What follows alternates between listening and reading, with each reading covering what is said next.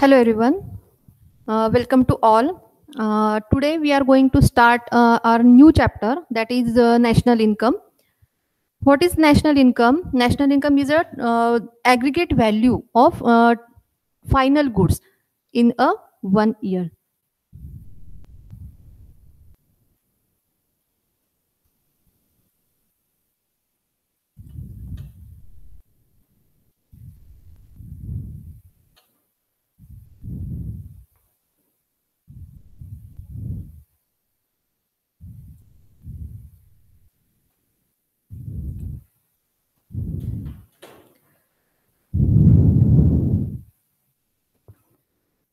Introduction.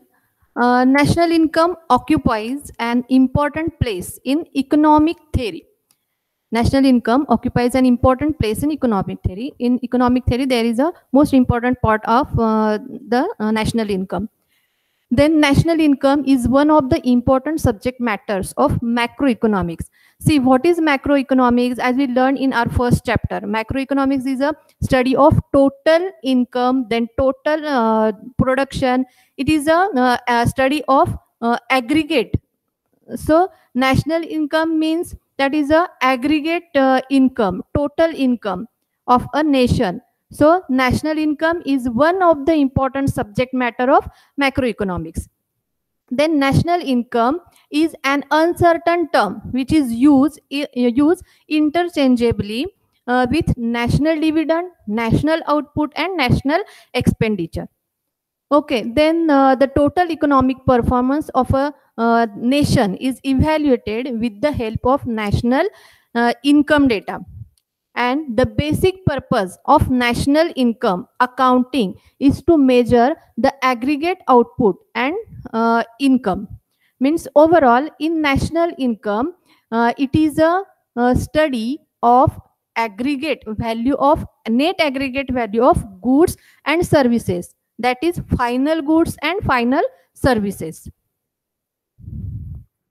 Definitions. National income committee according that is NIC a national estimate measures the volume volume of commodities and services turned out during a given period uh, counted without duplications. Uh, in other uh, in other words we can say that the net uh, it is the uh, value uh, value of net aggregate value of goods and services. Okay then next is uh, Professor Pigou. National dividend is that part of objective income of the community, uh, including, of course, income dividend derived from abroad, which can be measured in money. Means uh, what uh, Pigou's definition says that uh, measure only those goods and services which can measure uh, by which which can measure by only money. Next is Professor Irving Fisher. National dividend or income consists solely of services as received by ultimate consumer, whether from their material or from their human uh, involvements. Okay, what uh, Fisher's definition says that uh, uh means this concept uh, properly proper this concept is depend on uh, uh, explain uh, that uh, environment uh, economical environment economical. That is means it is says that it is totally depend on consumption and consumption represents our standard of living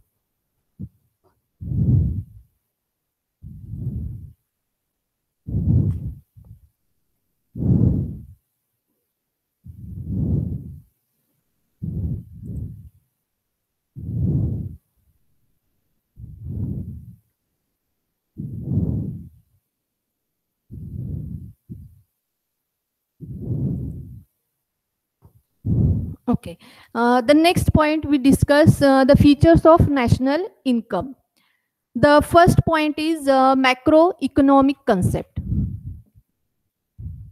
Macroeconomic concept. Concept. Uh, the national income is a study of macroeconomic uh, economics concept. It is aggregate income of all goods and services produced in a country during a one year. Okay, and it provides a clear picture of a country's economic performance during a uh, particular year.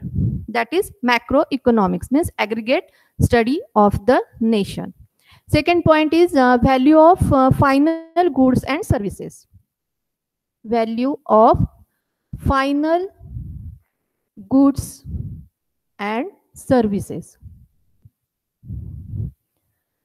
Final goods and services. In order to avoid double counting while estimating national income, uh, we include only value of final goods and services and not the value of intermediate goods of uh, intermediate goods or raw materials. For example, while estimating the production of sugar, then uh, there is no need to take the value of sugar cane as it is already included in the price of sugar. Means here sugar is a sugar is a final good. Sugar is a final good and sugar cane sugar cane is a intermediate good it is already included in the final good means there is no uh, it is not included uh, it is already included it. So uh, it is not major. It is not major major. Only final goods are major in the national income. Okay. Then uh, second point is what is double counting? Double counting means it is estimating the value of goods more than one. Means already you uh, purchase the final goods final good then you do, don't uh, give any money for intermediate goods. It is included in the final good already. Okay. The next point is net aggregate value.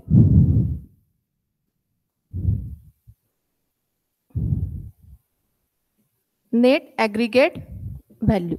What is net aggregate value? National income include net value of goods and services produced and does not include uh, depreciation cost. What depreciation cost?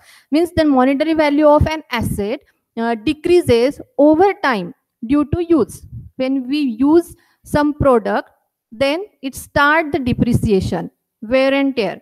This in decrease is measured as a depreciation uh, machinery, equipment, currency are some examples of uh, assets that are likely to depreciate uh, over a specific period of a time. The net, uh, next example is the next example is net income from abroad. Net income from abroad.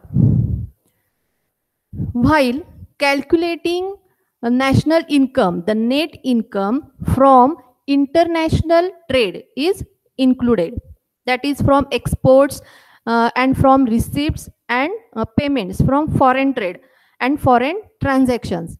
If the net income is negative, if the net income is negative, then that amount is deducted from national income. Okay. The next point is financial year.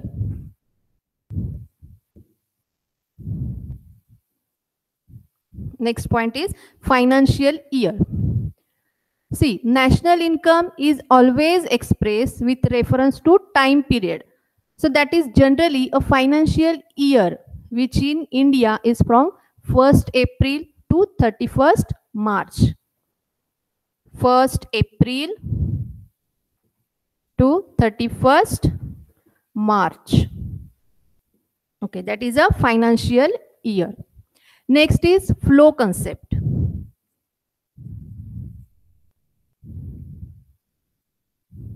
Next is flow concept. National income is the flow of goods and services produced in the country during a year. It includes only those goods or services which are actually produced. That is flow concept. Next is money value.